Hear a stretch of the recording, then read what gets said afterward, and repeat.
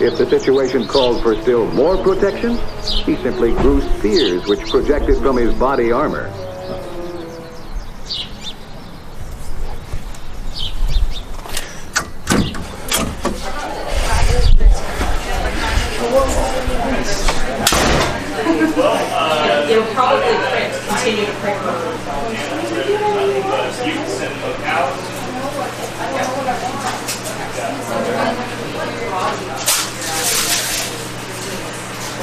All right.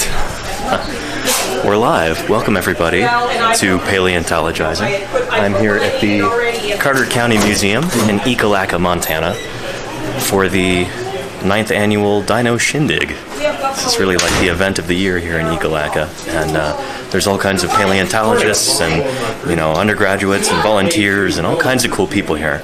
And uh, before things get really crowded, I'm going to take you on a quick tour of the museum, and uh, we'll look at some of the really cool, really unique displays. This is honestly one of my very favorite museums in the entire world, and I'll show you why. Uh, why I love it so much. Yeah, I'm just doing a quick, uh, like a video broadcast. Yeah, yeah. I won't get you on on camera or anything. Don't worry about it. Yeah. Here, go ahead. Yeah. Um, yeah. So let's go ahead and uh, go check out some of the displays. We've got some history stuff over here. We might check that out later, but our priority for right now, obviously, is paleontology. This is honestly one of the best dinosaur museums in the whole state of Montana, and uh, I'll show you why. Here is the fossil hall. And uh, right here, greeting you as you enter, is a cast of Wyrex. This is a Tyrannosaurus specimen from just south of here, down in Wyoming, if I remember correctly. I think it's, that's why it's got the name Wyrex. Um, yeah. Let's see. Quality is 5 out of 5. Thank you there. That's great feedback, Claire. Um, and hey, Mayor Space, Sinead Rion, Diagonal, Lordy, how are you doing? Uh, Dino Mama UK, I hope you're doing well. It's good to see you. Anyway, check this out. This is a moment where it was kind of heartbreaking. I'm No. destroying never. No, what, glue is cheap. Two months whoop. By looking at the growth bands of the test, scientists have learned about the life of the mammoth, including seasons of death, age, and space. It says mammoth tusks were curved having some difficulty with this. Uh, this is a live streaming rig, actually. Yeah, I'm doing a live stream right now, but it signal is not working properly for me. Oh, That's a big part of it, yeah. But I've got like you know four different wireless modems, and I'm running off the Wi-Fi too, so it should be working. Yeah, that sounds like it should be. But yeah, yeah, um, Some of the All right. Wi-Fi for back here that you do it for up there. yeah. That's that might help actually. Yeah, yeah. All right. Oh, it looks like I'm back on. All right. Thank you, Lordy. Can you guys see me right now? I was just about to show you a really cool pose on this Tyrannosaurus skeleton mount. Um, so walk toward the front and show you there. But there's that pubic boot contacting the ground right there. He's talking about how these guys and gals would sit uh, on that. That would actually rest on the ground and help them support their body weight. Well, check that out. So yeah, these are the pubic bones right here, and they've got that big keel on the bottom. We call it the pubic boot. There's the ischium sticking out of the back, um, and then those are the ilia up there. So this gives you some sense of scale, I guess, uh, for how big this animal is. This is not the largest Tyrannosaurus skeleton we have anywhere in the world, but it's still pretty big. And check out those arms right there. Looks like it's about to pounce, Izzy. Well, Yeah. So look at how small these arms are. And it's got that little splint right there of uh, digit three. Pretty cool. And look at the radius and ulna and how small those are. Those are significantly smaller than my radius and ulna. And I'm not a particularly big guy. The humerus is a little bit smaller than mine, probably, but more robust. And I'm sure it didn't come with the cast, but It'd be awesome to have the furcula right there, the wishbone, in between the uh, the coracoids, but they don't have it on this one. We're gonna have to go to Museum of the Rockies to see a furcula, a wishbone on a T-Rex. Uh, I'm excited to show that to you when we go see Peck's Rex at Museum of the Rockies next week. Check out these cervical ribs right now. Very cool. These ones are kind of wonky, kind of askew, but uh, yeah, I'm trying to remember the what was it? Um, the like homology of cervical ribs. I think these are actually, I think they're ossified tendons that basically turn into like ribs over the course of the animal's life. I could definitely be wrong about that. Um, yeah, yeah. Um, and hedgehog legs. Hey, thank you for the subscription. I really appreciate that. Welcome to paleontologizing. Here, I'm gonna go over here for just a second. Um, how can you hear me right now? Do I need to talk a little louder, or is this good? I hope with the mic right here, I can talk at this volume and be unobtrusive in the museum, not be annoying or anything. And uh, but you could still hear me. That's the hope. Audio is good. Thanks, Valiant Cheese. Good to know. Um, Izzy says, "How accurate is the T-Rex there?" It's just about as accurate as it gets, Izzy. Yeah. I mean, this is this is a cast of an original Tyrannosaurus specimen. Like, so these are all exact reproductions.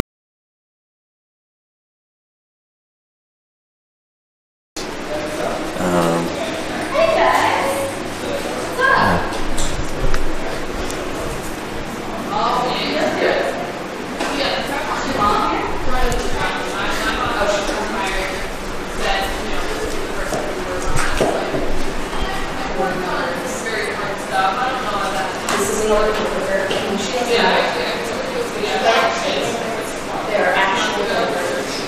right, we're back.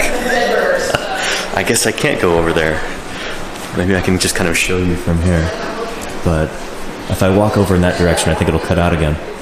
But I think Nate put this together. Beautiful Azhdarchid head and neck. The uh, drinking fountain there gives you some sense of scale. But there's a cervical vert, of the neck vertebrae, uh, from here in Carter County. Um,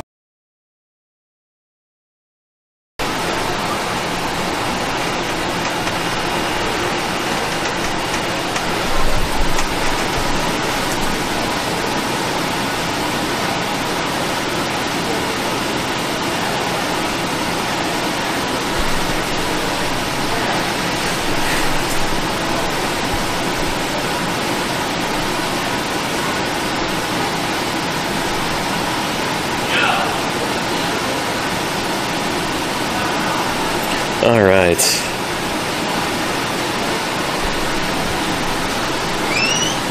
Okay, are we working? All finally. I've been working on this since uh, 9 a.m. It's uh, it's up and running. Nice. Man, I had to switch to the big guns for this with the signal booster, but uh, yeah. Well, hello everybody. Welcome back to Paleontologizing. Chili Foxy, Cyborg Chop, how are you doing? Lordy, thank you for all of your encouragement during this. I really appreciate it. I am in the uh, behind the scenes area of the Carter County Museum right now.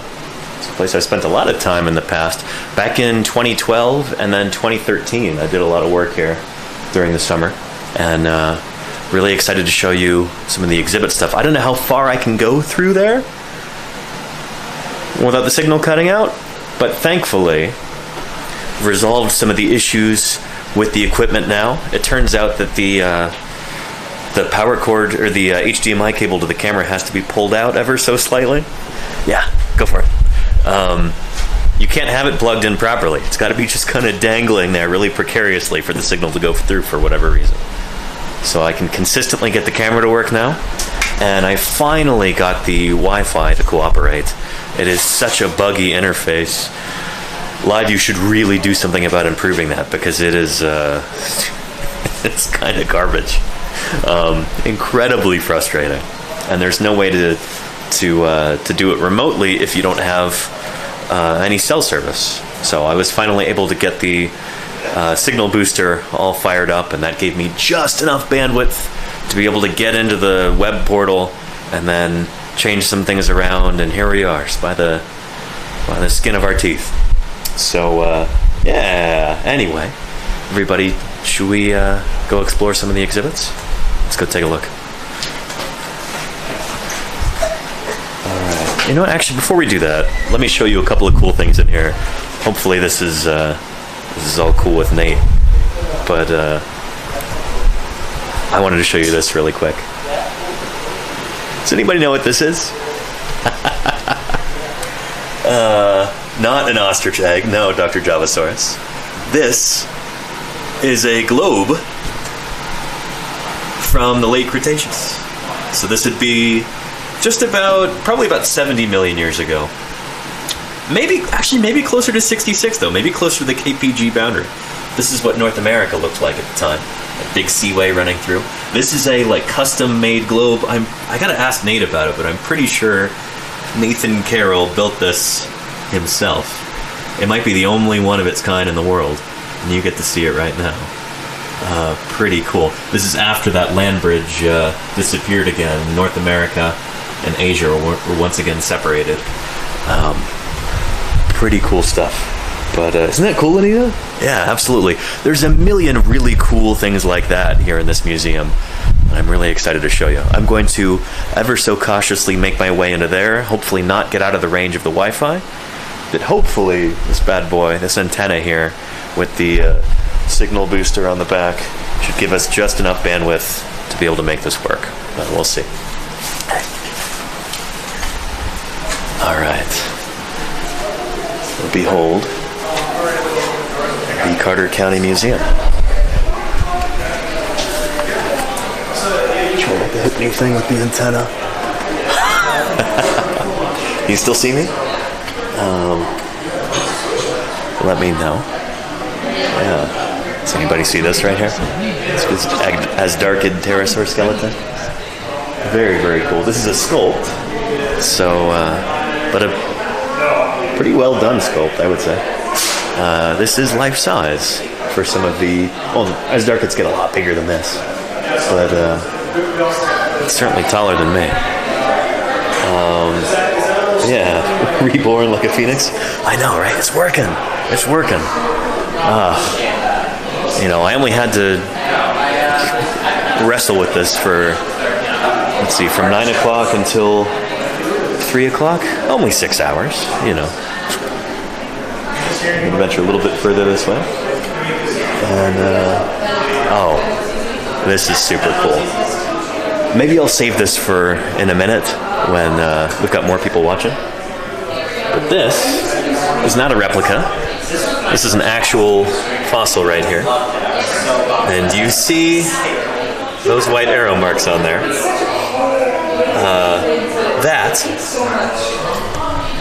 those are pointing to bite marks. It seems from a Tyrannosaurus. This is a dentary from a Triceratops. This is the uh, the lower jawbone. And you can see. Do you see those scour marks on there? You do not find those on a typical Triceratops dentary. This has been chewed on by a T-Rex. Um, pretty cool we have, you know, evidence of uh, of behavior, feeding in a specimen like that. Super cool. Um, something was chomping on that for sure. Exactly, Javasaurus. And the thing is, we can actually look at the spacing between those those different gouges, and we can tell. Doesn't look like a crocodile. Doesn't look like uh, a dromaeosaur or a troodontid. There's pretty much only one big carnivorous animal in this environment that could have done that, and that's this guy over here. Let me show you. All right, fingers crossed that the signal holds. But uh, yeah, and Javasaurus, there's literally close to no flesh there. That's the thing; these animals were incredibly thorough when they were feeding. But Sometimes they gotta this is Wyrex.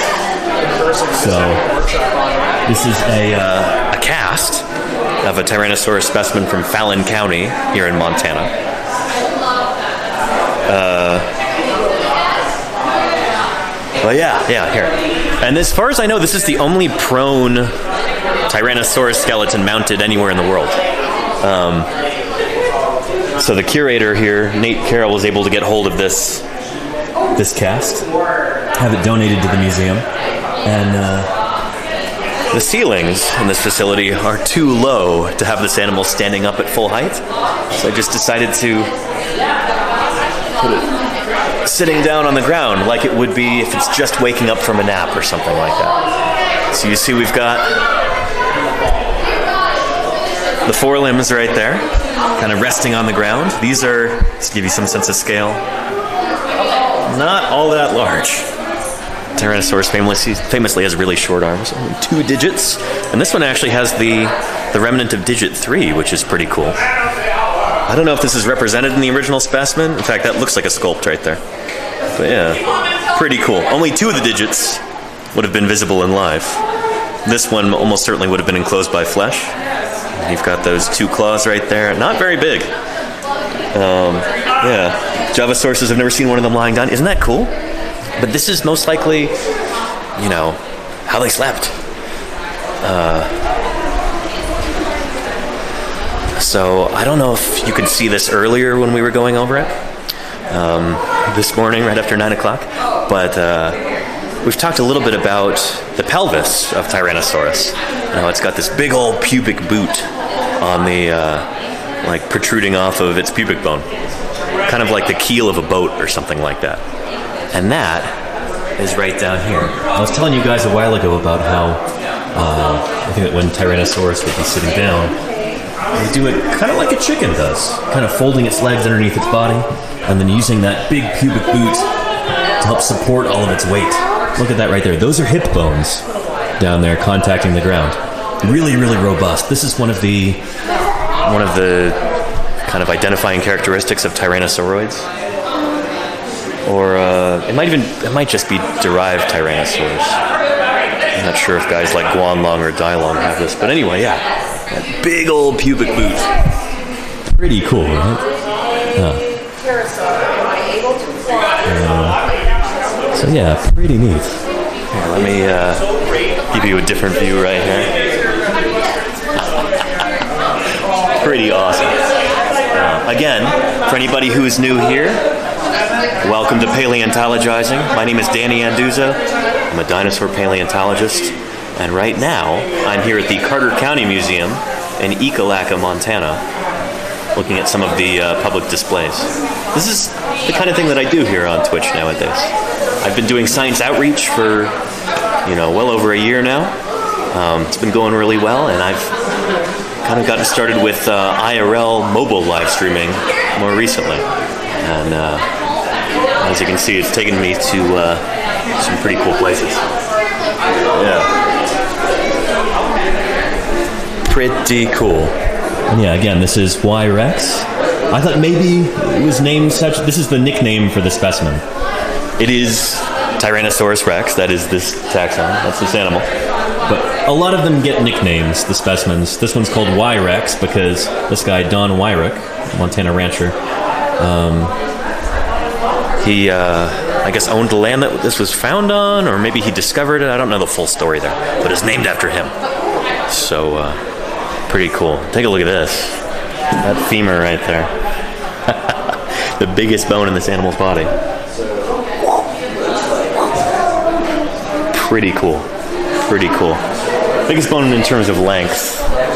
Probably mass, too. Although, uh, well, I don't know. The pubis might actually uh, in the femur. Come to think of it.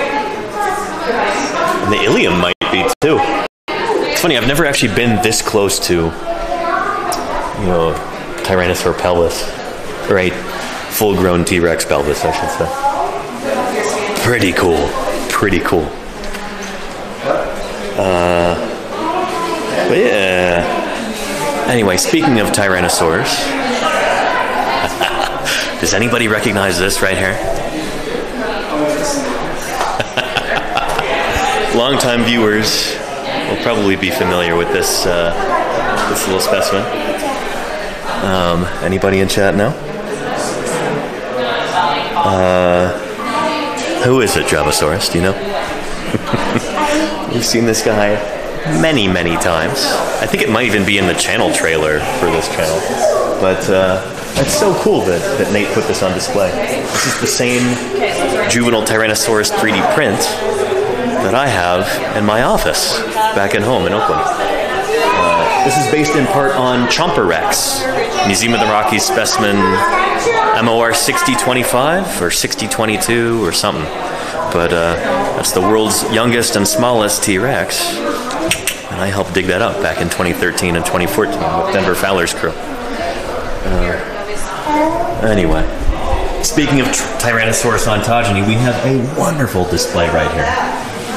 This is really cool. This is really, really cool. Um, so I know we talk a lot about dinosaur ontogeny on this channel. Um, that's kind of a constant soapbox of mine. So it's really cool to see this in a public display. Uh, yeah. Uh, so we've got a few different specimens. I've heard a lot about this one, the Jordan theropod at LACM, Los Angeles County Museum. But as you can see, when Tyrannosaurus were young, their skulls look a lot different from the adults. Far less robust, far more kind of narrow and svelte. And then the Cleveland skull. Is this uh is this Jane? No, that's Jane right there. this is the Cleveland skull. This was the uh, the holotype of well, first it was called uh, Gorgosaurus lancensis, and then it was redescribed as Nano Nanotyrannus lancensis, and now we realize it's just a juvenile Tyrannosaurus. Um, and I love that image there from uh, uh, art. Uh, an image from Cruising the Fossil Freeway. I remember that picture. That's a great book. If uh, if you like this channel, I think you'll probably really like that book too. You should check out Cruising the Fossil Freeway by Kirk Johnson and uh, Ray Troll. Um, yeah, and here we have Jane. This is from the Burpee Museum in Illinois. This, of course, obviously is a cast right here. All of these specimens are casts. And, uh, yeah, pretty neat. So this display talks about Tyrannosaurus histology and ontogeny. Um, there's been a controversy for a good while now as to whether Nanotyrannus is actually a distinct genus of uh, Tyrannosaur or if it's just a juvenile Tyrannosaurus. Well, the general consensus nowadays that's forming is that it is indeed a juvenile Tyrannosaurus. Um, but yeah, I don't know. That could all change though. If somebody ends up finding an adult Nanotyrannus that is skeletally mature, could overturn that with just one discovery. Yeah. I wouldn't bet on it though. Oh, and take a look at this. oh, I am very familiar with these elements right here. oh, does anybody recognize these? Does anybody recognize this perspective? That is the same 3D printer that I have at home, and it's printing one of the same specimens that I have. The full full size uh, juvenile Tyrannosaurus skeleton, the one that um, uh, Justin Van Luke put together, that Belgian artist. So yeah, something tells me that in a few months here, Carter County Museum might also have that same specimen mounted, which would be really cool. Uh, yeah, yeah. Um, oh, cool, Juan Pakunapu. You were at a museum that had teenage T Rex next to a cast of Sue. Very cool, very cool. I think dinosaur ontogeny is one of those things that it's so important, and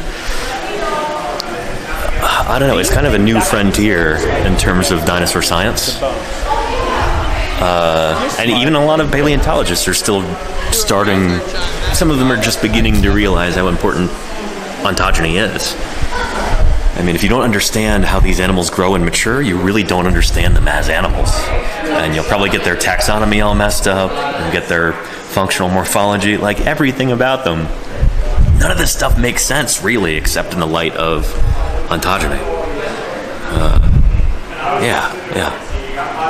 Um, behind you, is this Fossil Man. yeah.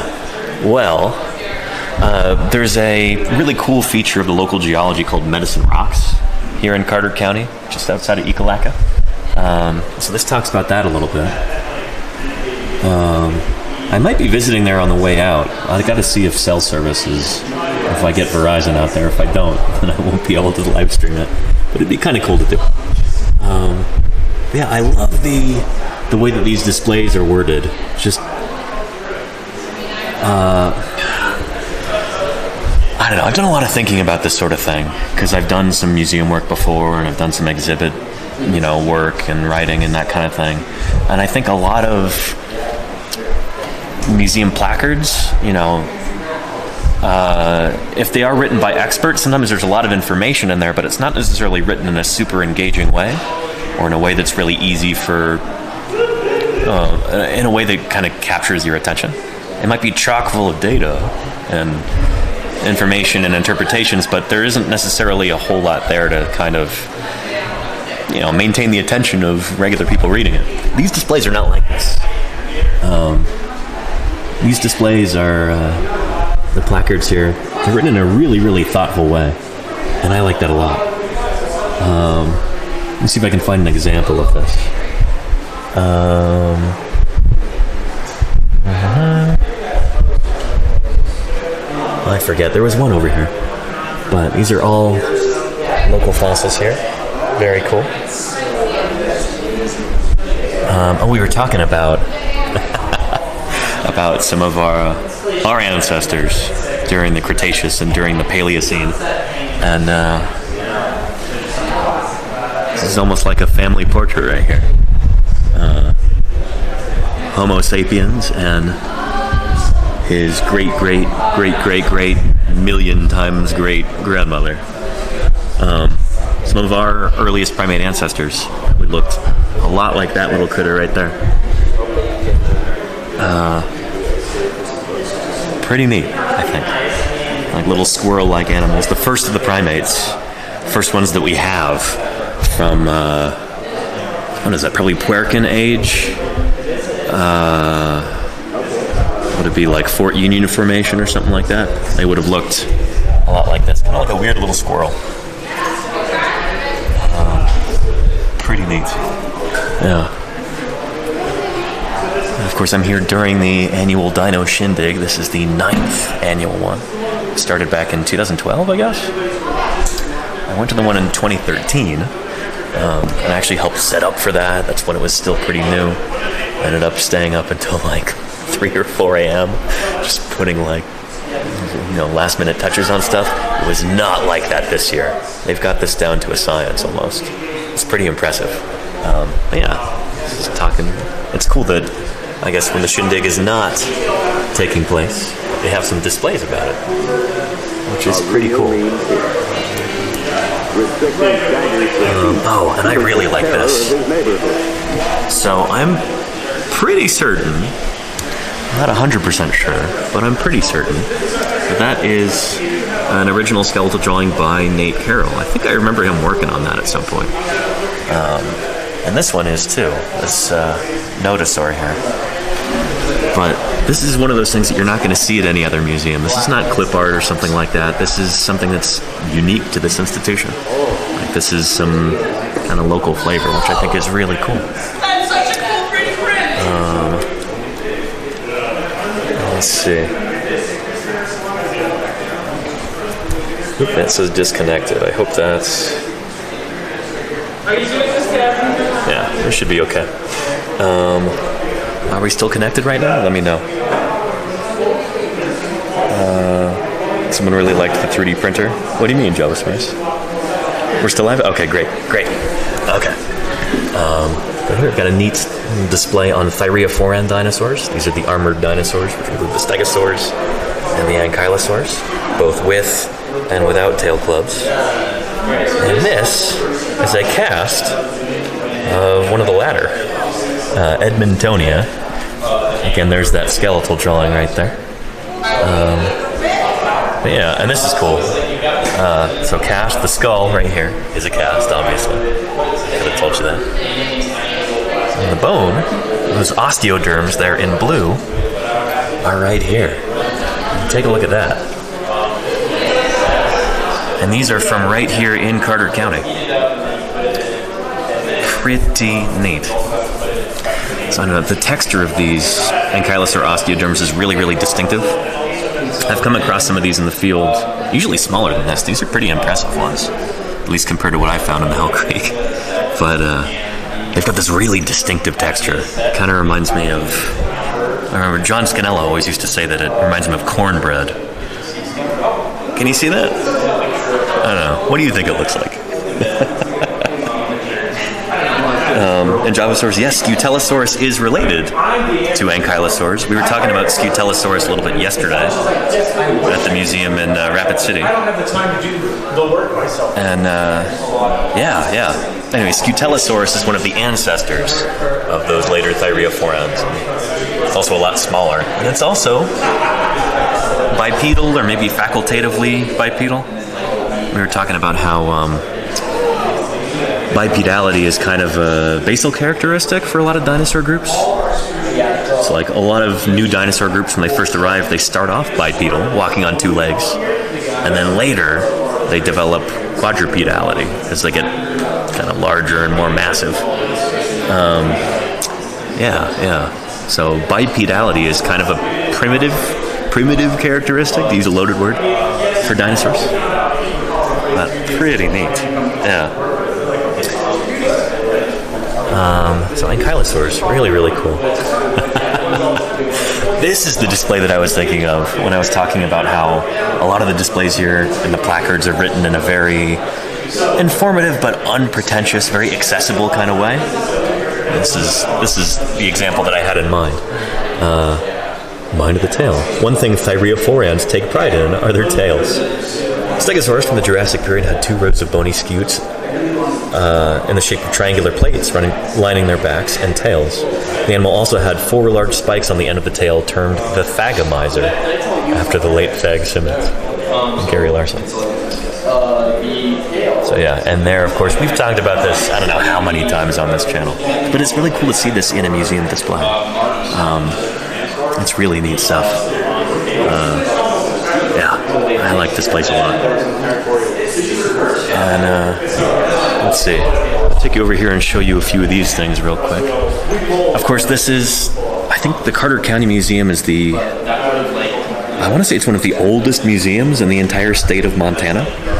And uh, so it's got a pretty long history. And it's got some of these like legacy displays they really can't get rid of um, because they've been here for decades and decades and decades.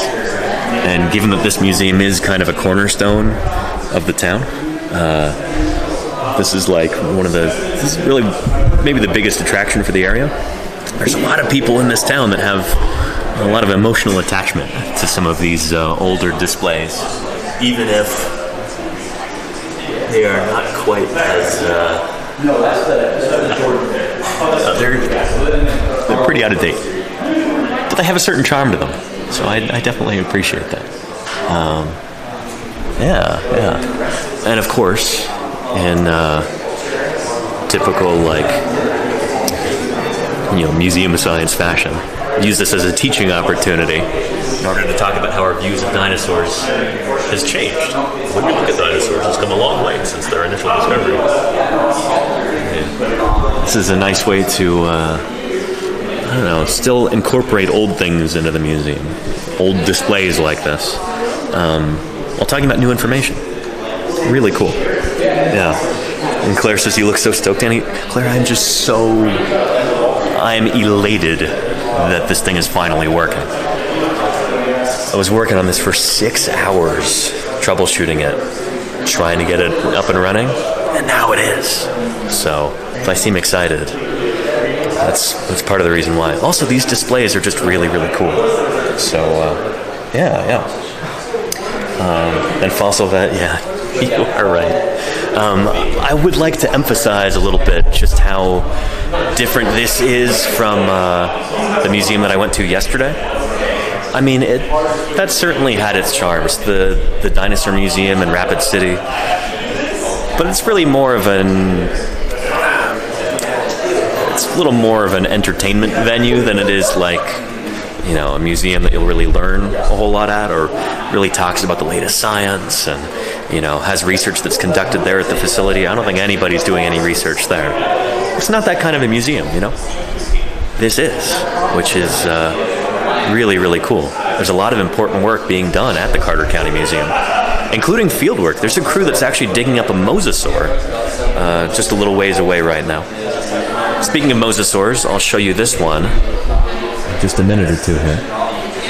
Um, we'll get up close and personal with that. But before I do, let's check out some pachycephalosaurs. Um, and here we go. Everybody loves pachycephalosaurs. We've talked a lot about them on this channel in terms of their ontogeny, and this is what this display is all about. Um, And that's that's the idea. yeah.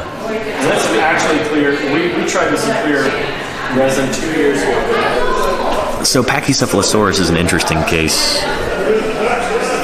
It's kind of typical, actually, for a lot of Hell Creek dinosaurs, where the more we learn about them and the more specimens that we have, the more it becomes clear that a lot of these things we used to think were different species or even different genera turn out to be the same creature at different stages of growth. And so here we have juvenile. See how it says Dracorex ontogomorph? Yeah. Um, this used to be a different dinosaur genus. Didn't used to be. I mean, it used to be considered a different dinosaur genus. Uh, Bakker described this back in I don't know when it was. Robert Bakker named it probably the late '90s or early 2000s.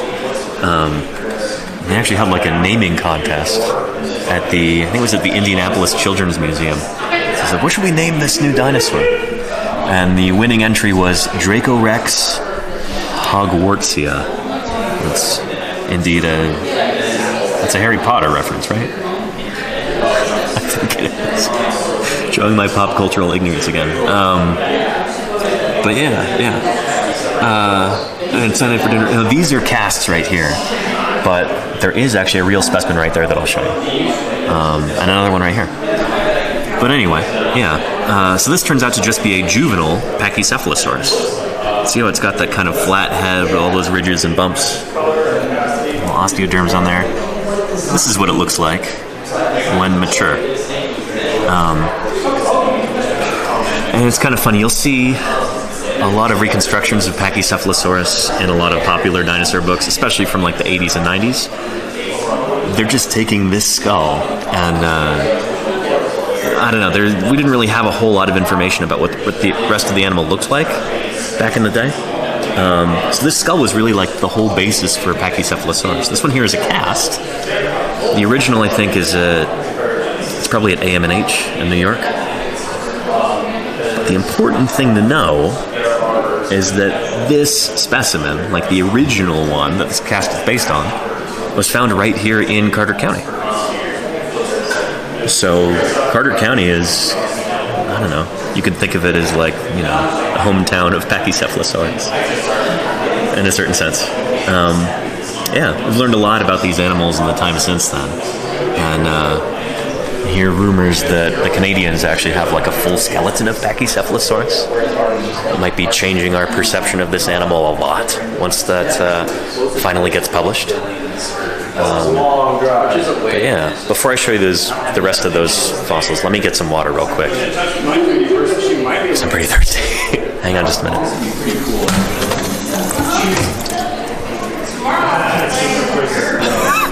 I'm gonna bend down so I don't knock anything over with the antenna.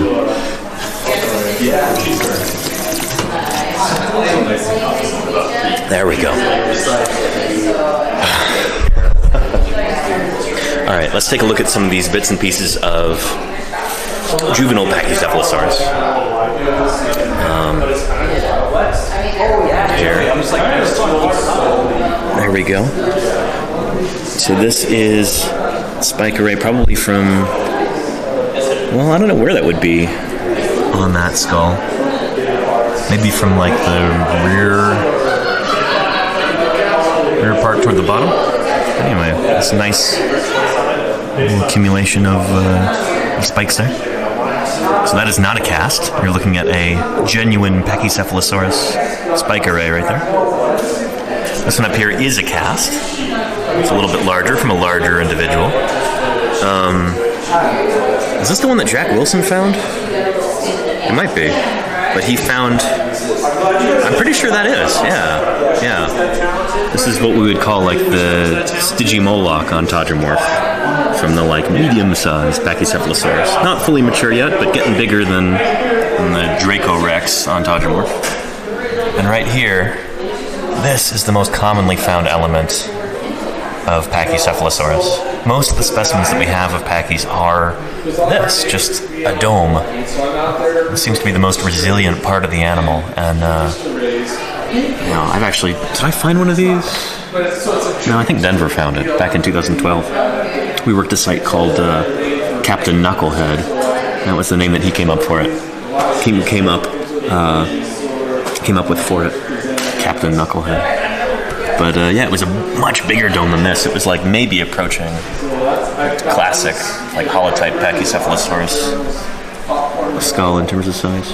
But yeah, if you're ever walking through the uh, Hell Creek Formation and you see something that looks like this, chances are it's probably a rock, but it could be uh, a pachydome. Dome of uh, Pachycephalosaurus, just like that. Pretty cool. Um, oh, and Claire wants to know do we have any idea why the head would puff up like that as it matured? That's a great question, Claire. Um, it's probably just something to kind of show maturity. For whatever reason, we're not really sure why yet. But it seems really important for these animals to be able to, to tell who is young and who is old. Like being able to show off how mature you are seems to have been a really big deal to these dinosaurs. Maybe that has something to do with social structure or niche partitioning. Maybe they're living in different environments and, you know, they would form social groups with other members of their same kind of growth stage. Kind of like in high school, if you have all the, you know, juniors hanging out together and all the seniors hanging out together. Maybe it's the same way with dinosaurs. The why questions are usually some of the most difficult in the sciences. But, uh, yeah, we're really starting to figure out the what and the how. The why is still a little bit tricky. So, great question, Claire. Yeah. Um, yeah. Hell Creek sounds scary, says DFW. Uh, in display, exactly, Claire. I know that's become a cliche on this channel, but there you have it. Display was really important to dinosaurs. Um, let's check out some mosasaur bits before I show you the full-size mosasaur behind me. Um, but this is pretty cool. We've got some genuine fossils from right here in Montana. Some of them from Fallon County, some of them from Carter County. Actually, all of these might be from Fallon County. But, uh, yeah, pretty cool. I don't know why they have a plesiosaur there. That's a short neck plesiosaur. That's not a mosasaur. it's a little bit confusing. Um, this cre- creature is like totally unrelated to mosasaurs. Mosasaurs are kind of lizard. These guys are something else. They're related to like elasmosaurs and other plesiosaurs. Um, we've got some ammonite pieces right there. Very cool. And then some mosasaur bits. Um, the Montana Learning Center apparently helped Carter County Museum dig up a mosasaur a few years back. Oh, this is the just last year. Pretty cool. Yeah. Very neat. So this is some of the local work that's going on here. Uh, pretty neat. And there's some verts. Those look like probably caudal verts, tail vertebrae. This mosasaur. Uh, pretty neat from the Pierre Shale. So right before Hell Creek times, right before you had dinosaurs like Tyrannosaurus and Triceratops walking around, uh, there was this, you know, seaway that uh, that ran through the middle of what we now call the United States. Um, and it kind of ebbed and flowed. It expanded and retreated various times, but uh, just before Hell Creek times, I think it was kind of at its zenith. This shallow sea covered much of North America, and that's where you have like mosasaurs swimming around. And that's why we find these. Like if you look in rocks just below the Hell Creek Formation, you will find the Bearpaw Shale, you'll find the Pierre Shale, um, you'll find this stuff, including mosasaurs like this. This one is a sculpt, um, And it's funny. I was talking to Nate about this yesterday, and he said that uh, you know they want they made this mosasaur a few years ago because they really wanted to have a mosasaur in the museum. These are creatures that uh, that we have here in Carter County, and they wanted a good example for the museum. And so, yeah, they put it together. They didn't really have a specimen to cast or anything, so I think this is might be entirely a sculpt. It's a pretty good one. But uh, now they're actually digging one up. So I'm sure there will be much more mosasaur material here in the museum in the near future. Something I'll watch out for. It's going to be really cool. Anyway, these guys got pretty big. This is approaching maximum size, I think, for a mosasaur. If you saw the uh, Jurassic World movie, there's a mosasaur that features pretty prominently in that, but that animal is way too big. It's like 200 feet long. This is about as big as they get. You know, close to about 40 feet. Um, you know, like 13, maybe 14 meters. Uh, yeah. Pretty cool. Pretty cool. And Linnaeus's mosasaurs were pretty abundant, weren't they? They were, yeah. Yeah, uh, we have quite a few of them from places like Montana, from places like Kansas, and from places like California too.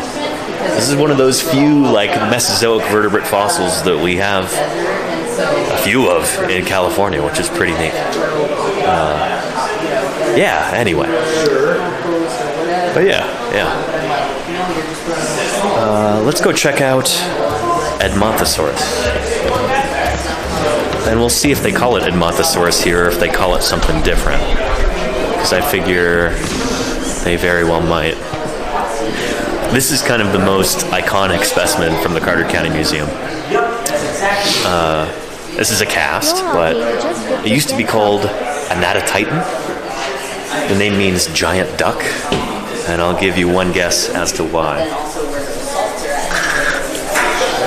But yeah, we now know, at least we're pretty pretty sure. I don't know if it's been published on yet, but most of the paleontologists I've talked to who work on Hell Creek stuff also they say that this is the same animal as Edmontosaurus. This is basically the full-grown ontogomorph of Edmontosaurus, big duck-billed dinosaur. And Edmontosaurus is pretty special because I don't know. When you think of the Hell Creek Formation, you think of a lot of big dinosaurs. Almost every dinosaur in that formation is the biggest of its kind. Tyrannosaurus is the largest of the tyrannosaurs. Triceratops is probably the largest of the ceratopsians. Um, same with like, you know, Thescelosaurus, Pachycephalosaurus. Uh, a bunch of these are the largest members of their groups. Just here at the very end of the Cretaceous period. Same for Edmontosaurus. But Edmontosaurus, even more special than that, it's actually the, the largest dinosaur in the Hell Creek Formation. They get bigger than T Rex. A lot of people don't realize that. But, uh, yeah, yeah. Um, and these are the second most abundant large dinosaur in the Hell Creek.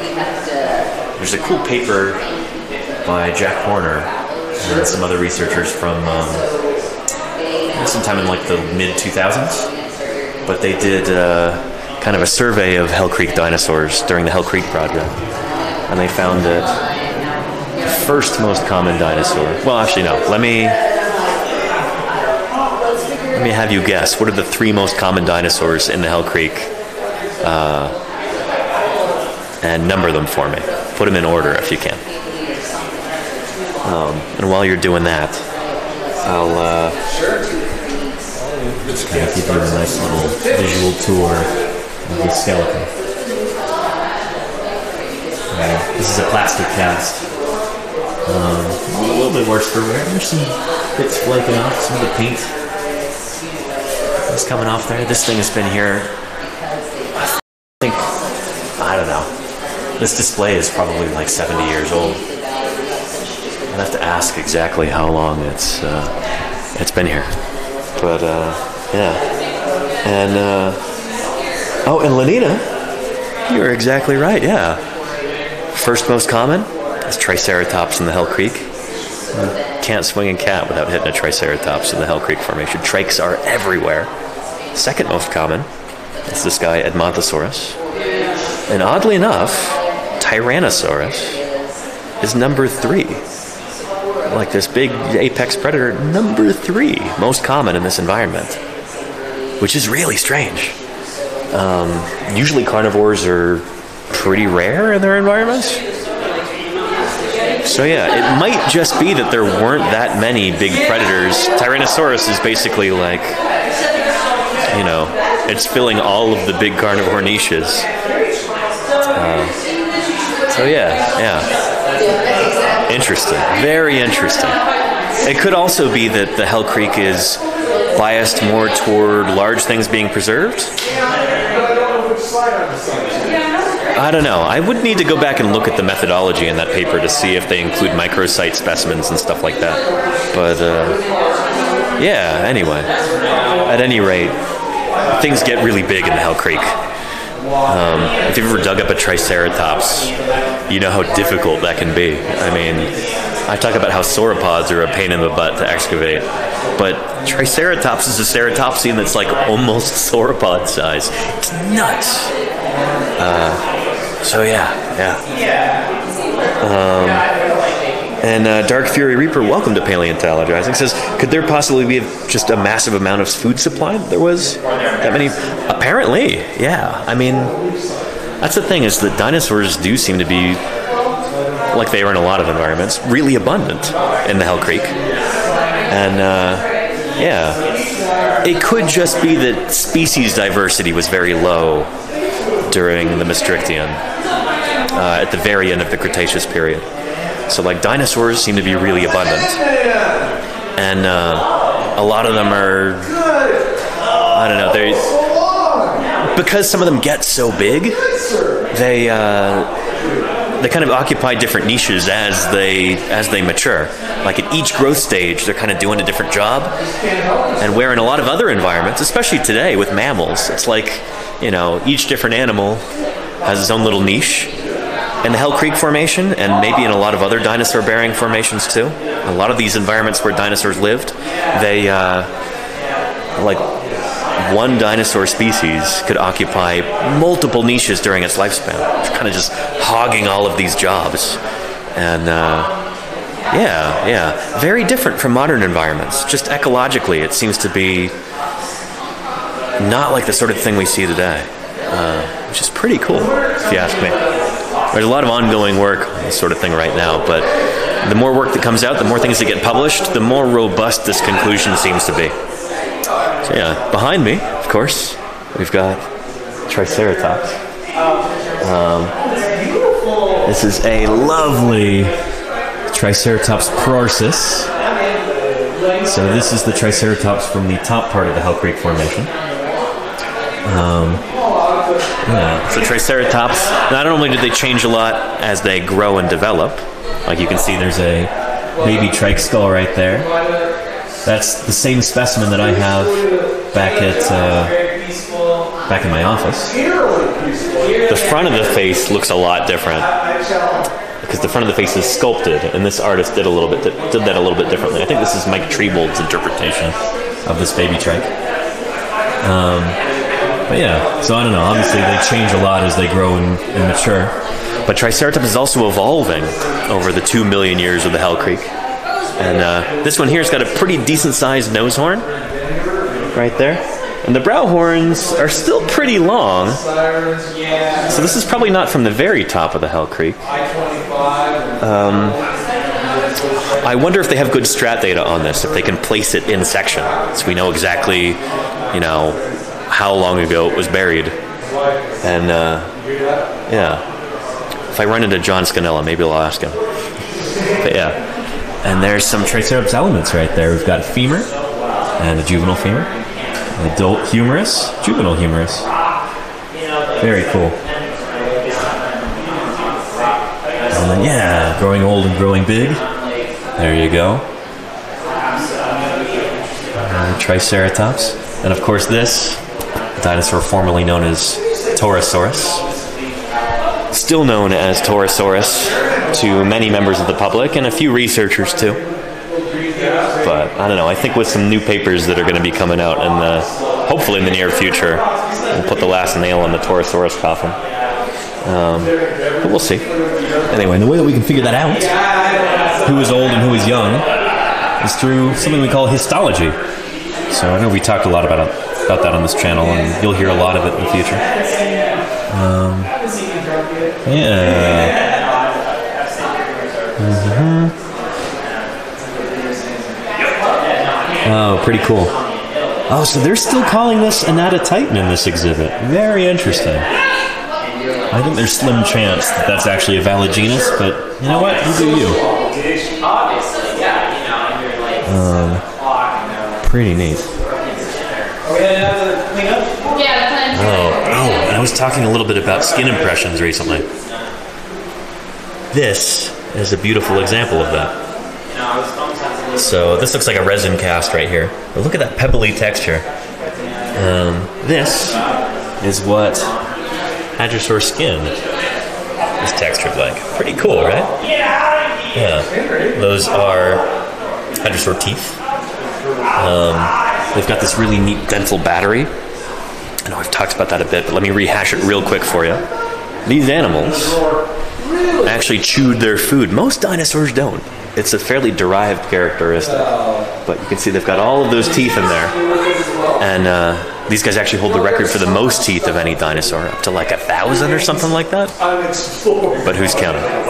Um, but the teeth form kind of a continuous cutting, grinding surface. Um, this is the lingual side of the jaw right there, so the tongue would be right here. Um, but as the teeth on the upper jaw and the bottom jaw come together, that cutting surface up there, the teeth kind of come into contact and they grind past one another. Rather than just kind of going like this, um, the teeth kind of slide past each other, almost like a pair of scissors or something like that. There's not really any modern animal that we know of, that I know of at least, that chews that way. So it's uh, it's pretty interesting. Yeah, seems to have been a very efficient way of processing food because hadrosaurs, these dinosaurs, were immensely successful in uh, the late Cretaceous period, kind of take over the world. So uh, clearly they were doing something right. And there we've got some ossified tendons right there. I think. Let's see, we won't be able to see that on the tail of the mounted skeleton. But these right here are actually bits of tendon. Or maybe they're ligaments. I've, ossified tendon might be a misnomer. But basically, these are ligaments or tendons that over the course of the animal's life, they ossify, they turn to bone, which is pretty cool. Uh, yeah, yeah. Um, someone is counting? I guess, Carrie. uh, oh, let's look at some ammonites over here. Pretty neat. This is lovely. There's a Placenticeras, the genus of ammonite, with the uh, fleshy part filled in in the back uh, through some artwork. Pretty neat. Um, I don't really know a lot about these animals, especially their internal anatomy. That's a really cool diagram. I've never seen one of those before. Yeah, and there is a modern nautilus. These guys are, they're not super closely related to ammonites, actually, the chambered nautilus. I think they're actually closer to octopuses than they are to ammonites. And that might be one of the reasons why they actually survived the extinction event at the end of the Cretaceous, when the ammonites all died out. The asteroid impact really seems to have done a number on these critters. Because, yeah, they're just gone. Just like the non avian dinosaurs, just like the pterosaurs, just like a lot of other species. About 60% of life on Earth, 60, 60% of species at least, die out during this extinction. Ammonites are one of those. There's another member of the same genus, Placenticeras, right there. Yeah. Um, pretty cool. And then there's a beautiful diagram uh, showing time throughout here and the different critters that were swimming around during those times. Very neat. Very, very neat. And of course, they go right up until the end of the Maastrichtian, 66 million years ago. And then they're gone. Just no trace. Extinct. Um, I like that. Ammonites can range from the size of your fingernail to almost 10 feet in diameter. That's over three meters for uh, of our non-American viewers. Pretty big, pretty big. Then we've got an elasmosaur skull right there. Very cool. We saw one of these yesterday at the museum in uh, Rapid City. I like this one a lot more though. Uh, that's a sculpt, so it's not a cast. Doesn't have the nice fossil texture on there, but it gives you a sense for just how uh, impressive those teeth are. Just like a basket of sharp teeth. Uh, and I, I still don't really know what these guys were doing with those teeth. Are they catching fishes or squids? Are they sifting through sediment on the seafloor? I don't know what they were doing. And I think the jury might still be out on that. I don't know enough about elasmosaurs, but uh, pretty cool stuff. And then, uh, ah, one day in 2016, local rancher Carter County Geological Society board president Lane Carroll That's Nate's dad, actually. Nate Carroll is the uh, curator here at the museum. Lane is his father. He was searching for a bull in a pasture and stumbled upon some odd looking rocks. These rocks were fist sized cobblestones in a marine shale, which Lane knew didn't belong. After exploring further, he noticed bone fragments, which prompted him to contact CCM curator Nate Carroll. he called up his boy Nate. Uh, about the fun. The large, smooth rocks turned out to be gastroliths or stomach stones, and the bones belonged to a long necked marine reptile called a plesiosaur. Lane decided to call it Pinto after the horse he was riding when he discovered the skeleton. Pretty cool. Yeah. There's the excavation right there. Got some really nice, uh, probably cervical verts. Seems like most of the verts for, uh, for these guys are cervical verts, neck vertebrae. And uh, there's a crew digging it up. Pretty neat. Pretty neat. Yeah. And there is one of the ribs. Very cool. You can see the cradle that's been built around it in order to help support it. Ribs are notoriously difficult to kind of keep in one piece when they're on display. So you often get cradles like this. Um, I've always liked that word, cradle. It kind of implies, uh, you know, caring for these fossils like you might for a baby or something. Pretty neat. And then we've got This is weird and cool. the humerus, the upper arm bone. Of an elasmosaur right there. Look how short and squat it is. That's the upper arm bone. That's your funny bone, I guess. Uh, the humerus. Same bone right there. Uh, this is an animal, I don't know how big it would be, but it's certainly bigger than me.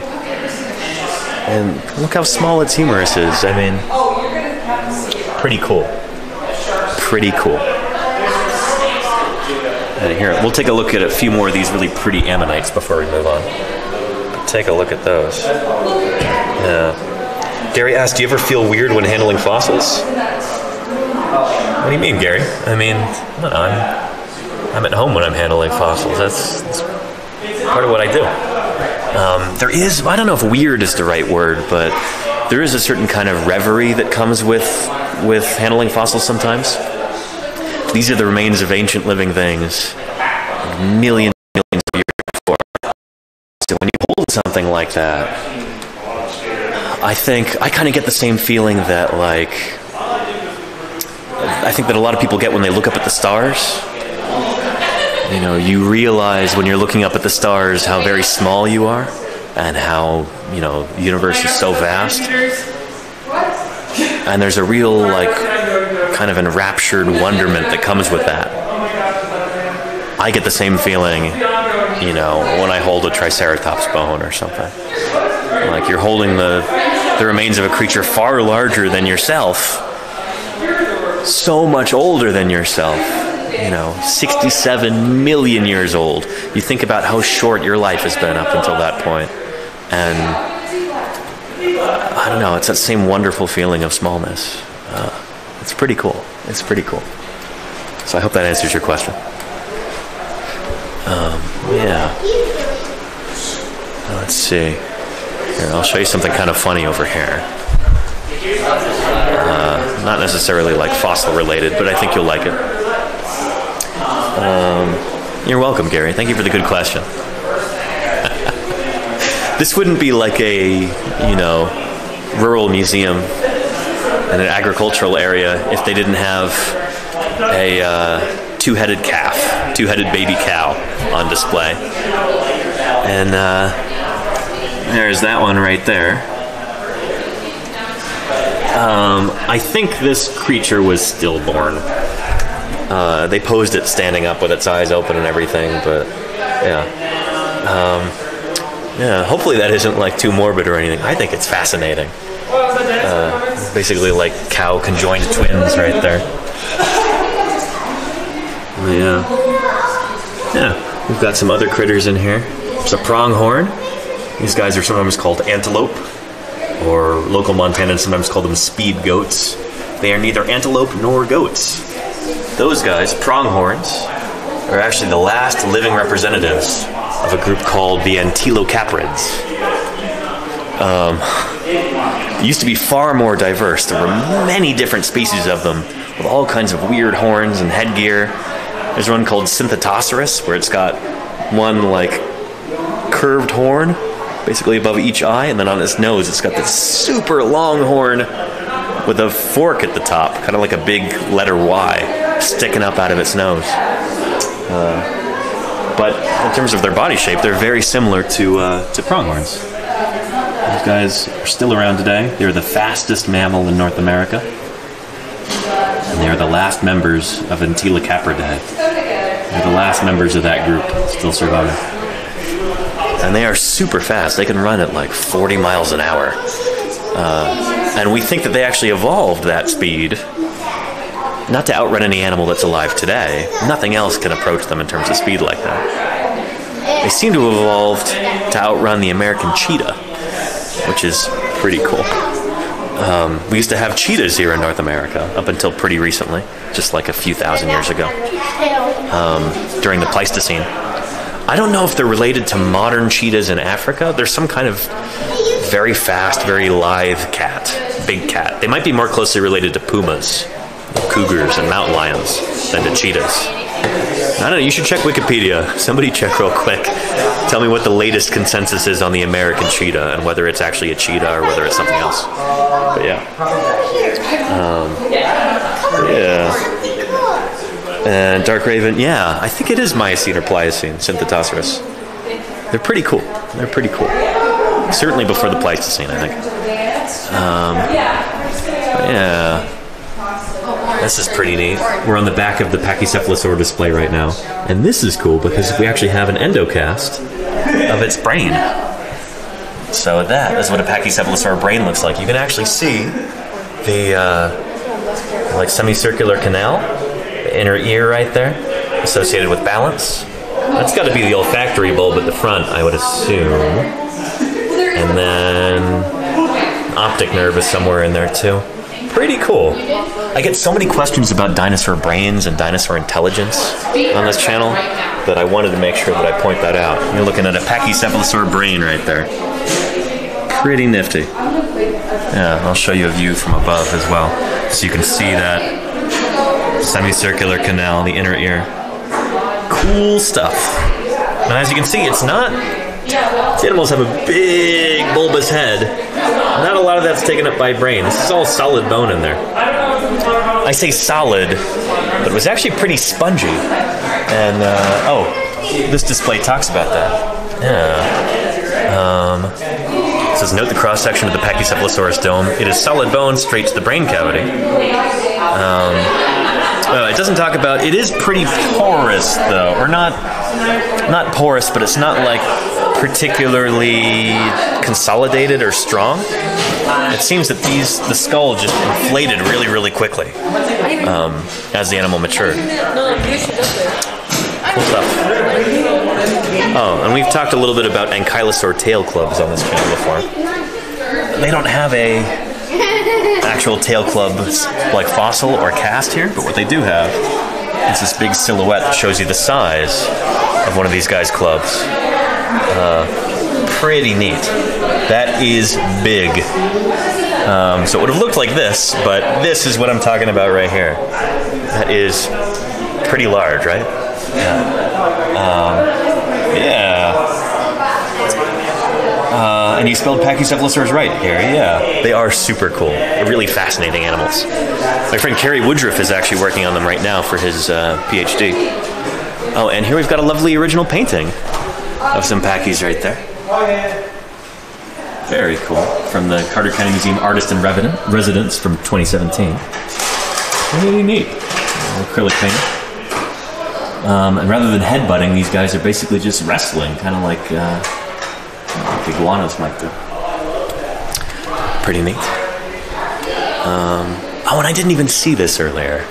of course, the, that 3D printer over there has been chugging away, um, printing the same juvenile Tyrannosaurus that I have at home in my office. So yeah, it's so cool to see this in an actual museum too. Um, this is uh, same 3D printed model. Pretty neat.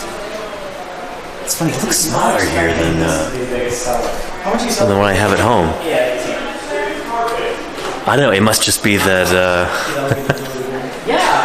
I don't know. There's so many other big fossils around here. You know, think of it as being small when it's not.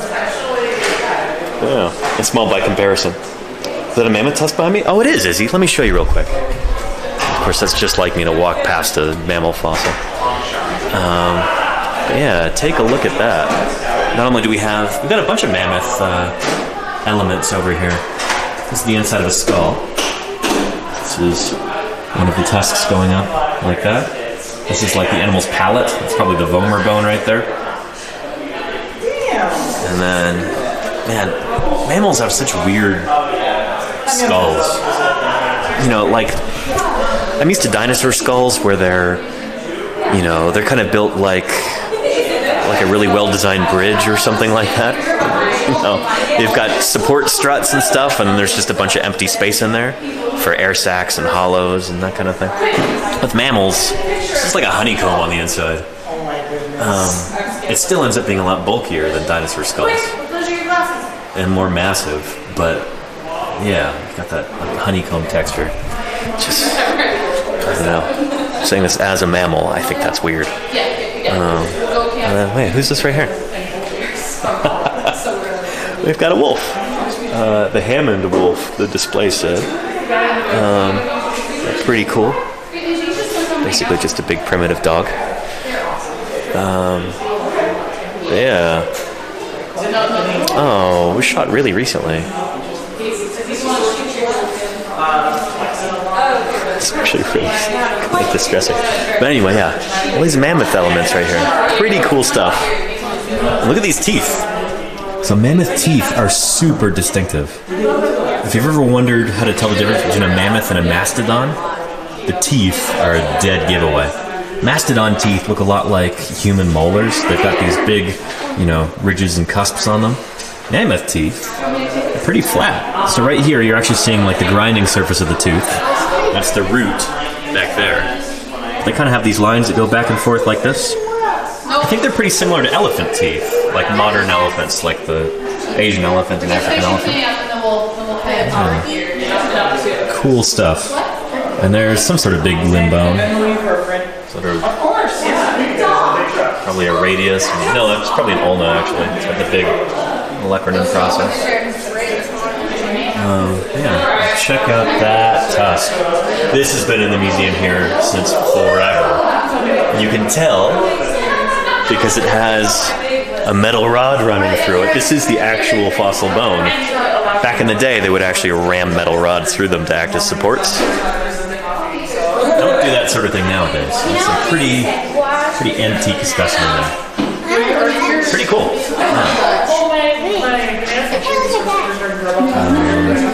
And there's another one right there. It's actually, the more you put it in, Pretty neat. So these are very um, Yeah, and here's some more Pleistocene fossils. There's a jaw of a mammoth right there. You can see the new tooth that's kind of being pushed forward. Neat stuff. Smilodon skull, just like I've got at home. And then some other mammals as well. This is cool. History of horses. So take a look at this. That is your modern, like, one-toed horse. But horses used to have three toes on each foot. You can kind of see that right there. Pretty cool. Pretty cool. Yeah, neat stuff. Um, so yeah, yeah. Let's see if there's anything else to show you. This is visited most of the things in the main hall here. I didn't show you the big mosasaur skull over there. Let me show you that. Introduce you to a Tylosaurus skull up close and personal. Yeah. Um, again, this is above our Elasmosaurus skull. Take a look at that. Tylosaurus. This is one of the biggest of the mosasaurs. Check out those teeth. And can you see the second row of teeth in there? The, uh, what are they called? Palatine teeth, or I forget, but they're on the roof of the mouth. Do you see them in there? Look under the eye socket. Say mailman. Pretty cool, right? I'll give you another look. Pretty awesome. Yeah. And these guys, of course, are lizards. So there's a modern varanid lizard. Uh, those little orange dots right there are showing you some of the points of kinesis, like the joints in the skull. The skull could actually flex. Seems to have had something very similar. I don't know if the uh, the like second row of teeth, the like roof of the mouth teeth. I don't know if those were mobile like they are in snakes. I don't know if we know that about them. Know whether or not they were, but uh, pretty cool. Yeah. Um, yeah. And Javasaurus, yes, their mosasaur was okay in Jurassic World. It was, I don't know, it had completely the wrong skin on it. It had like crocodile scutes all over it, which these guys certainly did not have. They're lizards, they're not crocodiles. So, uh, yeah. By the way, mosasaurs like that obviously are not a dinosaur. They're a kind of giant marine lizard, which is uh, still pretty cool. And we've got over here an ichthyosaur. Take a look at this. Pretty neat. Is it okay if I get you this? uh, pretty awesome. We've talked a little bit about ichthyosaurs, and I think this is the original specimen. You can see this is a very old display. the upper Lias. That's so funny. So yeah, from the upper Jurassic period. This might be. Um, it's not Temnodontosaurus. I don't think it's. It could be either Ichthyosaurus or Stenopterygius. Um, but yeah, here's its skull right here. I think we're looking at it from the top down. It could also be from the bottom up. Um, looks like from the bottom up. Yeah. I think these are either side of the lower jaw right there. And this is one of these marvelous flippers. These guys actually have the same bones that we have in our hands, and they're flippers, but in them they've evolved to basically they're they're all flattened out. This nice little mosaic pattern of little hockey puck bones, mosaic tile bones. Very cool. It formed the flippers. There's another one, and you've got this basket of ribs all tangled up right here. Very cool. You can see some of the vertebral centra. Um, and then all the way down the tail, there's the rear flippers right there. And then over here, this nice kink in the tail right there. So that forms the tail fluke. So we talked about this a little bit before, but uh, guys only have bones in the lower fork, like the lower part of the tail fluke. The top part of the tail fluke would have just been soft tissue, just muscle and skin and probably some tendon in there, maybe some cartilage too. Um, I don't know. I don't work on ichthyosaurs, but uh, yeah, yeah, very very cool. So when these guys were first found, you know, we only really had skeletons of them. Uh, so we didn't really have like any soft tissue preserved at all. It's just bone. And so some of the earliest ichthyosaur reconstructions just show them with this long kind of snaky tail. But now we know they actually had a big fluke on their tail, a lot like a swordfish or something like that. Or kind of like a dolphin's tail, but sideways. These guys would scull their tails horizontally from side to side in order to propel themselves forward. Unlike a dolphin that goes up and down like that. These guys evolved from land living reptiles And so most reptiles, their spines flex from side to side. Think about how a lizard or a crocodile walks. You know, they're not going up and down like this. They're going from side to side. And so when ichthyosaurs, when the ants, their ancestors took to the seas, you know, they obviously used that same method, side to side motion of the spine. Um, and eventually they became so well adapted to life in the sea that they couldn't even come up onto land. They didn't have functional limbs for living on, for walking around on land. Rather than laying eggs on the beach, they would actually give birth to live young. Uh, we found ichthyosaur specimens with like a fetus inside. Um, it's pretty cool stuff. Pretty cool just how marvelously well adapted they were to life in the seas. And they range in size from, you know, like less than a meter long to something like this to a creature like the size of a bus. There's even some hints of even larger ichthyosaurs from England. I think Dean Lomax uh, published on this a while ago, but you know, like a potentially like 30 meter long ichthyosaur. So a creature like approaching blue whale size. Just incredible. Um, so yeah, it could very well be that the largest animal that's ever lived might not be a blue whale. It could be an ichthyosaur. Who knows? I mean, time will tell. It could also be that the proportions were all wonky on that one, and it just had a really big, really big skull, smaller rest of the body. But I don't know. A critter that big, what would it even eat? How would an animal that size sustain itself? Blue whales obviously eat, you know, zooplankton, krill, and that kind of thing. What would an ichthyosaur that size eat if it were 90 feet long, if it were the size of a blue whale? Do they eat squids? I don't know. They don't seem to be filter feeders, any ichthyosaurs, so I don't know. I really don't know. Um, yeah. And uh, obviously says, can you check your encoder temperature real quick? That's a great idea. Let me do that. It is mounted over here, and feels fine. Yeah, yeah. This, on the other hand, is really heating up. My uh, signal booster, that thing generates a lot of heat. You can see the, uh, it's red hot right now. I'm just kidding, it's painted red, but uh, it's got all those fins on it to help radiate heat. Wow, this is really nice. Everybody cleared out. Here, I'm gonna set the camera down for just a minute and I'm gonna get some water. And then maybe we'll take a few more looks at that Tyrannosaurus specimen. But hang tight, everybody. Just a minute here.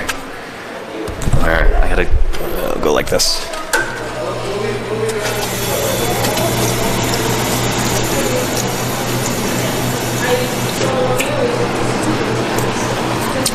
There we go. I've been told that this drinking fountain right here actually has the most pal- palatable water in town. Um, like in a lot of uh, rural Montana towns, especially in the eastern part of the state, um, the water here has kind of a mineral taste to it. Um, so uh, yeah, it's not nearly as bad as in like Jordan, Montana, but you know, still, I'm from the Bay Area. I'm used to like obnoxiously good tasting water. it's kind of stupid how, how good our water is in places like San Francisco and Oakland. Oh, we missed this earlier. Take a look at this. This beautiful painting right here of a Tyrannosaurus just ripping the head off a Triceratops. um, this is based on actual research. Um, yeah, I wonder when Denver's finally going to publish that. His How to Eat a Triceratops paper. Um, but yeah, yeah, by looking at bite marks on Triceratops fossils, we can gain some kind of a clue as to uh, you know how these animals would have dismantled the carcass. And it's not just like looking at one or two fossils here; it's like a survey of I don't know how many dozens of specimens, all showing the same pattern. It's pretty cool. That kind of work. Um, oh, we've got this right here. We'll take a look at the uh, the bird origins display talking about theropod dinosaurs and them giving rise to birds. Um, yeah. What are birds? Birds are the descendant of theropod meat-eating dinosaurs. Now, how many times have I told you that? in this channel over the over uh, the past year and a bit. Um, yeah. Uh, oh, and cool. Oh, okay, this is not the only one in the world, but it says Wyrex is one of two T Rexes in the world to be mounted in a brooding posture. Birds will brood like this over their nest to protect their eggs and keep them warm. Um, it says compare this to the meadowlark. Do they look the same? There's a meadowlark skeleton right there. It's just a little theropod dinosaur. Ah. And there we've got a maxilla of Jane, the Tyrannosaurus, um, which is that same one. That's Jane right there. This is her maxilla. Pretty cool. Uh, oh, they've got a. I've never seen this before anywhere. Wow. A cast of a Caroraptor, or maybe Acheroraptor. It's named after the river Acheron in uh, Greek mythology. Um, Greek mythology or Roman mythology? I always get this mixed up. One of them is the river Styx, and one of them is the river Acheron, right? anyway. Um, but yeah, yeah, that's one of the dromaeosaurs from the Hell Creek Formation. That's almost certainly the same animal as Dakotaraptor. Um, at least, I don't know. Time will tell, obviously. But yeah. Uh, but check that out. Maxilla a dromaeosaur, a tyrannosaur, and then uh, pretty neat. This display is talking about the similarities between uh, the feet of dinosaurs and birds. It's got a great big pedal phalanx right there. Uh, that's what the middle toe, I think. Digit two or digit three? It's probably digit three. It's not really squashed in either direction, and that's probably from the left foot, I would think, because it's slightly skewed that way. Oh, the display shows us. Yeah, I don't even have to guess. Um, but yeah, look how robust that is. Um, this is a big, massive animal, and uh, that's how big its toe bone is. Compare that to like your toe bones. Oh, yeah, very cool. Um, and very similar to modern birds. There's another ground running bird from today, a turkey. We got the uh, metatarsals, I guess the tarso metatarsus, and the pedal digits and the pedal unguals, and toe bones and the claws. Yeah. Oh, and here, oh man, I was talking about how I wish this was in the mounted Wyrex specimen, but here it is on display. That is the furcula, the wishbone of a T Rex pretty cool. Compare that to the wishbone of a turkey right here. Um, it's a little bit bigger. uh, but yeah, I think it was only like 2004 that it was first published on that dinosaurs like this had furculae. They had wishbones. I remember the paper, it talks about a Tyrannosaurus furcula and a Suchomimus furcula, which is really interesting. Big spinosaur theropod. Um, yeah. And there is a ah, a nice painting of Archaeopteryx right there. Man, we gotta get a we gotta get an Archaeopteryx cast or an Archaeopteryx 3D. They should 3D print an Archaeopteryx for uh, for this museum. That would be cool to have. I mean, shoot, if I have one, they should have one here. Uh, yeah. Oh, and this is neat too. I know I've shown this figure before on this channel, but check that out. Um, this is from a, I think, 2006 or 2007 paper. Um, that's a Velociraptor ulna right there, uh, showing the quill knobs, just like on, say, a turkey vulture or something like that. Um, you know, demonstrating once and for all that Velociraptor had feathers. Um, we knew for a while that it probably did, because a lot of its relatives from uh, from Liaoning, the Yixian Formation in China, some other dromaeosaurs had preserved feathers. Um, like the specimens are that well preserved that, you know, like the integument, the feathers are clearly visible in the fossil. So a lot of paleontologists thought Velociraptor probably also had feathers, and this is like incontrovertible proof that they did. Um, those quill knobs right there on the ulna. Pretty cool. So yeah, really neat display. And pretty soon they're going to have a complete juvenile Tyrannosaurus presiding over it. Just like I've got at home. Pretty nifty, yeah. Um, And uh, there you go. Yeah, Dark Raven. This is true. T Rex has what we call the arctometatarsalia condition. Let me show you. Where the metatarsals basically get like fused together into like almost like a single bone, like the cannon bone of a horse. But check that out. I love that I can just show this to you right up close. Yeah, this is the arctometatarsalia condition, where the middle metatarsal, metatarsal uh, three, just gets pinched like that. So this is just like one solid mass of bone right there. Um, pretty neat. And uh, there are other theropod dinosaurs that have this too. Ornithomimosaurs have this, the ostrich dinosaurs. Um, and in them, it's an adaptation for shock absorption, probably. These guys seem to have been really fast runners. And Tyrannosaurus seems to have evolved from the same ancestors that the ornithomimosaurs had. And so, yeah, yeah. That feature that they inherited probably would have given them a big advantage for, you know, shock absorption when they're moving around.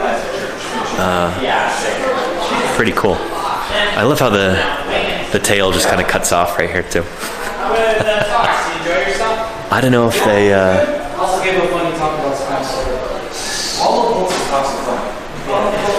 I don't know if uh, they just don't have the vertebrae here, or if they more likely just wouldn't fit here in the hall properly. Um, but yeah, yeah. Check out these caudal chevrons right here. These bones that kind of hang down off of the caudal vertebrae. So these would have been attachment points for different muscles in the tail. And uh, so anytime you've got caudal chevrons like that, those are like anchor points for these muscles that ran from there down to the femur. And let's see if we can find the fourth trochanter there. There it is. See this bump sticking off the bottom of the femur right there? That is an attachment point uh, for the caudofemoralis muscle. It's a great big muscle that would help swinging the, uh, the femur back and forth while the animal's walking or running. Um, dinosaurs are really interesting in that they, unlike us when we walk, like when I walk, you know, femur swings forward and then backward like that. I hope you could see that. Dinosaurs, it seems, their femurs could swing forward, but they couldn't swing backward past the vertical. Um, they'd go forward like this, and on the backswing, they would stop, just like that. And uh, yeah, it's very different from the way that modern birds walk. I think it has something to do with the dinosaur tail and how the the muscles are linked up to it like that, the way that they're anchored there to the tail. Um, but yeah, yeah. So anytime you see a a dinosaur in a painting or a movie or a video game or something, when it's like swinging its femur like way far backward like that, uh, they couldn't do that. Is one of those reasons why you need paleontologists to review your stuff if you're going to put dinosaurs in media, so you make sure that you get that sort of thing right. Because if you don't, it just looks wrong, and like the people who know a thing or two about dinosaurs, uh, yeah, they uh, might not be too happy. All right. Oh, and let's look at the. What these are right here on the sides of the vertebrae? These are the transverse processes. So just like the caudal chevrons, these are attachment points for those big muscles. Those might be the primary attachment point actually for uh, like the caudofemoralis. But anyway, you can just picture this like big array of ligaments um, and muscles that are, well, I don't know. They might be ligaments. They might be well, tendons. See, tell how long it's been since I've done soft anatomy. But anyway, yeah, big attachment point for the stuff that helps swing the, uh, the leg forward and backward. Pretty cool.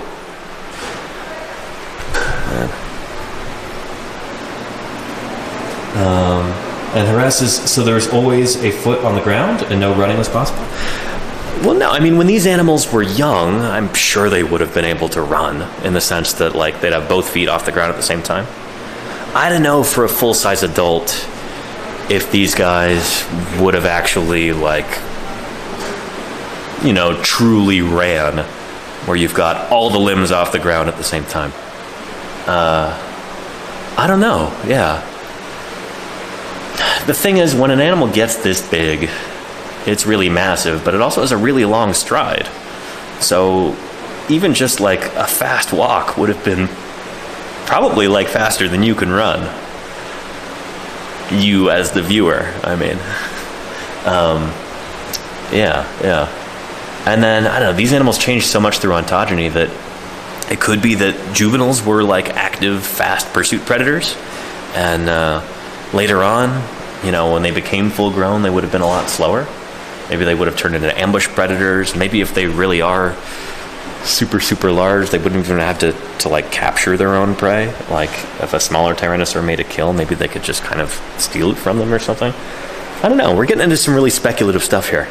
But, uh, yeah, yeah. So could full grown Tyrannosaurus run? I don't, I'm not going to pretend like I know. Uh, it's a cool question, and there's there's a lot of cool implications. If we could figure that out, I feel like we'll answer a lot of other important questions about these animals. You know. Um, yeah, yeah. Uh, there are no vertebrates with more than four legs. Mayor Space, I could show you one. Did I show you this earlier? Were you here? oh. It was stillborn, apparently. But, uh, yeah.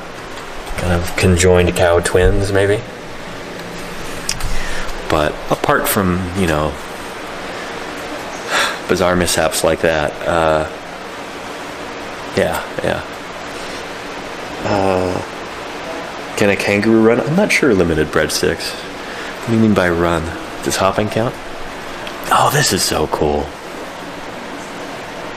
Can't believe I overlooked this before. Of course, I'm in Montana right now. I lived in this state for the better part of a decade before moving back to California. Got some symbols of Montana. Right there, we've got meadowlark, which is the state bird of Montana. I think there's like seven other states that have the meadowlark as their state bird, but no other state has Maiasaura as its state fossil. Um, one of my favorite dinosaurs. Oh, and there's a bitterroot flower too.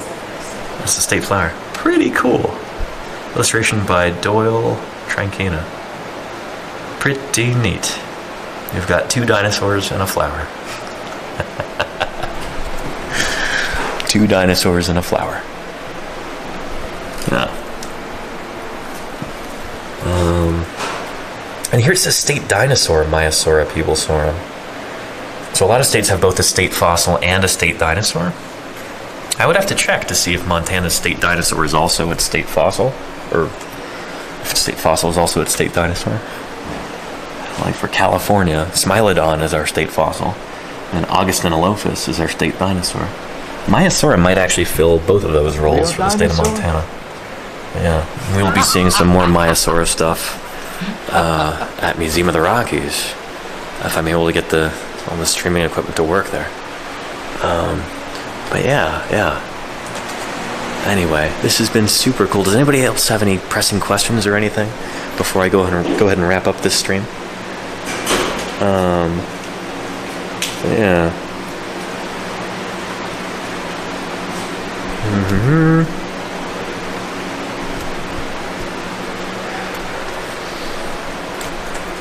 Oh, take a look at this. Little mini mirror up there. Pretty cool.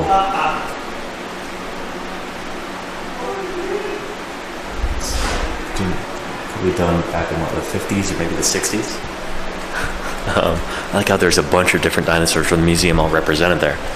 We've got uh, Pachycephalosaurus, Ankylosaurus, Anatotitan, uh, Tyrannosaurus. Pretty cool. It's one of those things that'd be really easy to overlook. There's so much else going on here. Um, yeah. Oh, and uh, let me show you this again, because I think some people may have shown up after I was displaying this, or after I was showing this off, this display. But here's a Triceratops dentary right there, with some big scour marks on it. Seem to be from Tyrannosaurus teeth. And uh, oh, and I was talking about Denver Fowler's research on this. Well, here it is. Yeah, a recent study by Denver Fowler and colleagues at Museum of the Rockies has given us a better idea of how exactly the snacking took place. I know I've shown this on the channel several times, but uh, pretty cool. These are patterns that are consistent across dozens of Triceratops fossils. Um, so that's, uh, I don't know, that's some cool science, if you ask me. And then this is pretty neat. Um, this is somebody wearing a sun helmet while excavating a dinosaur. that is one of my, uh, I don't know, pieces of, one of my headgears of choice in the field. Um, I actually brought it with me along this trip. So if I'm going to spend any time outside, any like significant length of time while it's really hot, that's what I'll be wearing. Um, pretty cool. Pretty cool.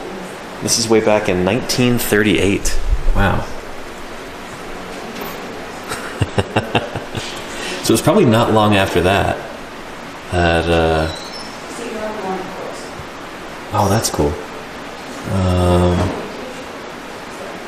Marshall Lambert, who's kind of a legendary figure in the history of this museum, assembled the specimen in the basement of the now rebuilt Carter County High School.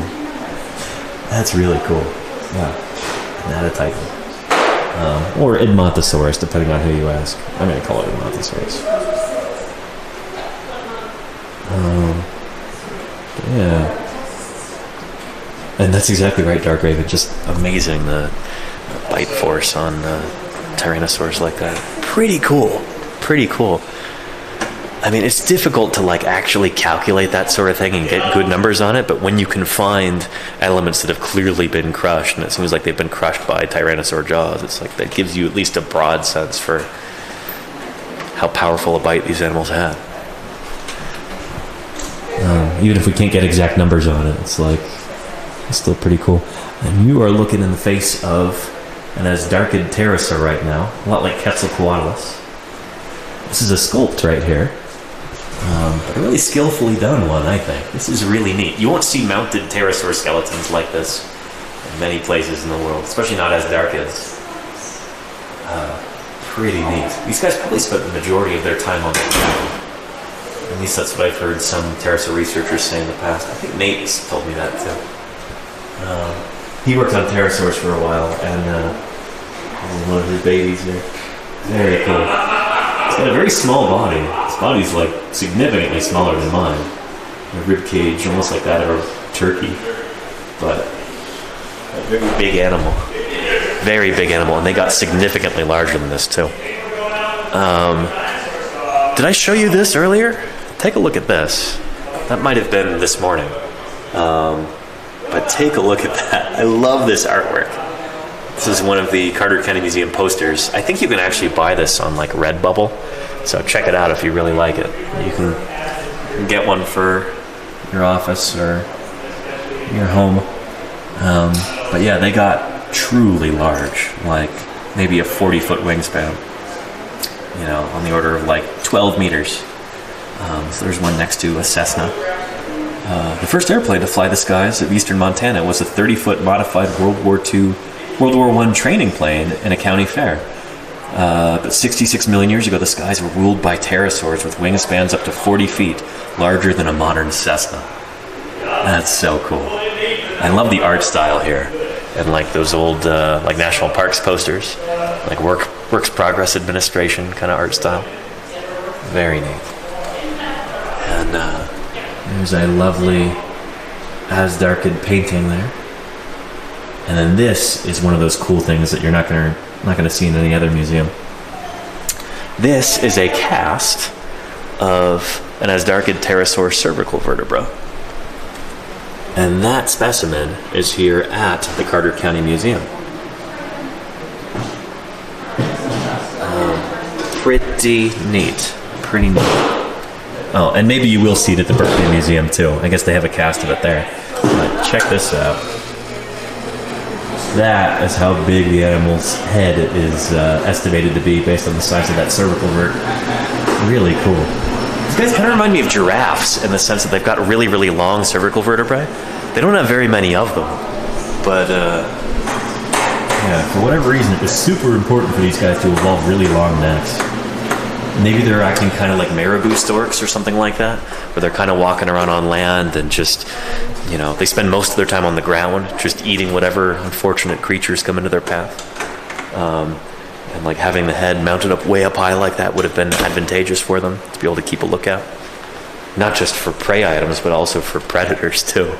Because you know that a you know Tyrannosaurus, if it got hold of one of these guys, yeah, even though they don't have much meat on them. Uh,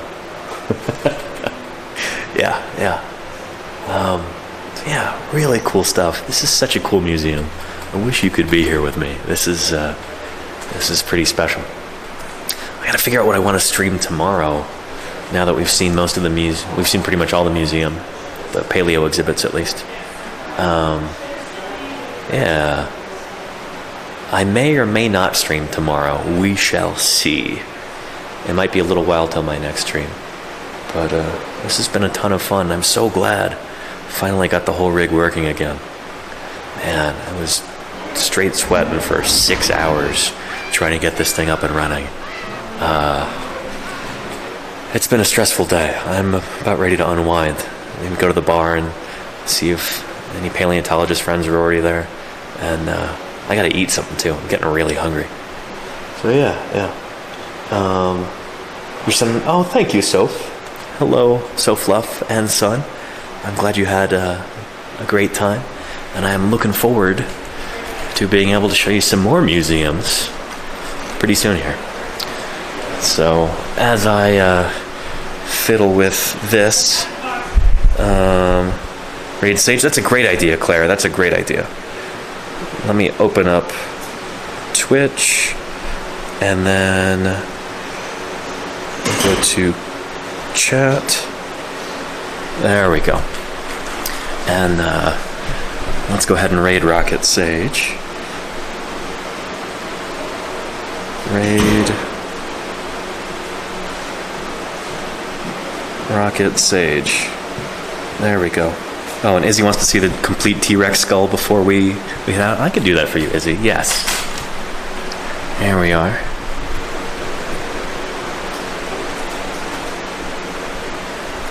Of course, is the specimen Wyrex.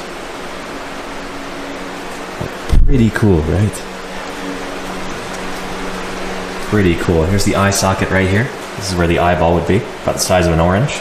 It's the antorbital fenestra. This is all like air sacs and hollows in there. There's the nares, the nostril, and then premaxillary and maxillary teeth. Take a look at those. Pretty cool, huh? Postorbital fenestrae. Yeah. Pretty awesome, I think. All right. Without further ado, we're going to go ahead and raid Rocket Sage, and I will wrap this up. Thank you, everybody, for making this such a great stream.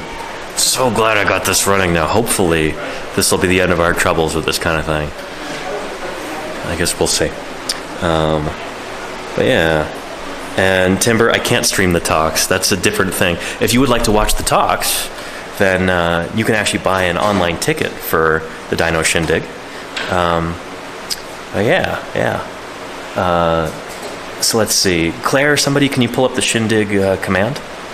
I think those might be logged for a while so that uh, you can watch them even after the fact. I don't think you have to watch them live, but I'm not entirely sure. But anyway, um, yeah, thank you, everybody. And uh, you all take care of yourselves, and hopefully, I will see you soon. All right. Thanks for a great stream. And uh, we'll go ahead and raid Sage in seven, six, five, four. All right, everybody. You take care of yourselves. Thanks for doing some paleontologizing with me. And I'll see you next time.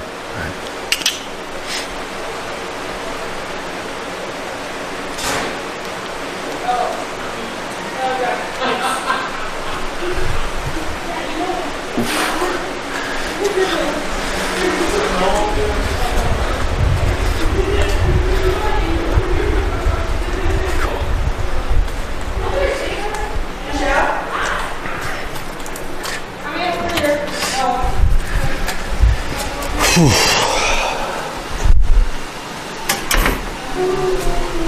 real mean kid.